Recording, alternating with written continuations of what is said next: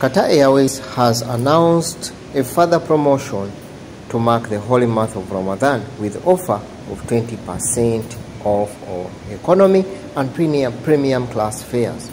Qatar Airways has announced a further promotion to mark the holy month of Ramadan. The airline will offer 20% of all all-inclusive premium and economy class fares to more than 140 destinations worldwide. In addition to Privilege Club members, will also enjoy 4,000 bonus Avios in the premium and 2,000 in the economy.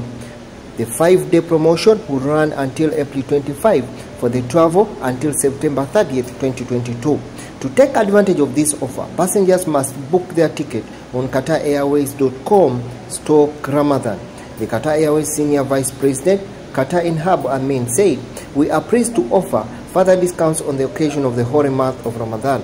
We will, we, we, as we understand the importance of this month to many of our valued customers, we invite them to enjoy this offer and create memories with their loved ones around the, the globe by taking advantage of our incredible offers with Qatar Airways growing global network to almost 150 destinations worldwide and our award-winning service and hospitality on board.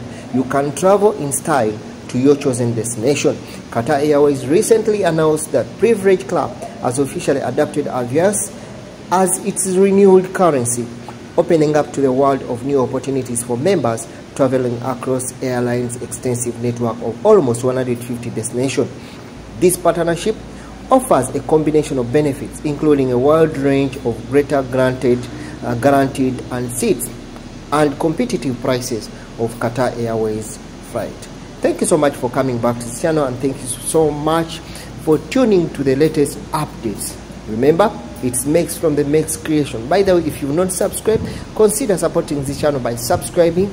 By the way, do not forget to hit that notification bell because it will be it will enable you to get updates wherever we upload a new video. Thank you so much. See you again in the next video as we try to look at the latest